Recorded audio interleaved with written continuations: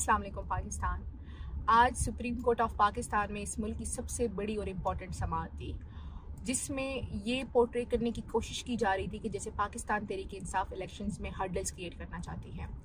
पाकिस्तान तहरीक इंसाफ सबसे ज़्यादा इफेक्टेड है जो पिछले 18 महीनों से इलेक्शन की डिमांड कर रही है। हम इलेक्शन ना एक दिन आगे लेके जाना चाहते हैं, ना एक दिन पीछे। आठ फरवरी को हम इलेक्शन चाहते हैं, लेकिन हम चाहते थे कि जो जो सबसे इंपॉर्टेंट इलेक्शन है, वो मुल्क की जो आला अदलिया है, उसकी मातहत अदलिया के तहत हो और उनको डी आर ओज़ मुकर किया जाए, जिस तरीके से इस मुल्क की हिस्ट्री है कि 1988 से आज तक तमाम इलेक्शंस में इस मुल्क की अदलिया डी आर ओज़ बनाई गई है। तो इस हवाले से चूँकि तमाम तर कार्रवाई एक तरफा चल रही थी तो मैं बाग बाग के पहुँची और मैं ये कहने की सिर्फ़ कोशिश कर रही थी कि जो हमारे लॉयर्स हैं वो लाहौर में हैं तो सुप्रीम कोर्ट की लाहौर रजिस्ट्री में अगर हमें पाँच मिनट की मार्जिन दी जाए तो वो वहाँ पेश हो जाएँगे और पाकिस्तान तहरीक इंसाफ का मौक़ दे देंगे।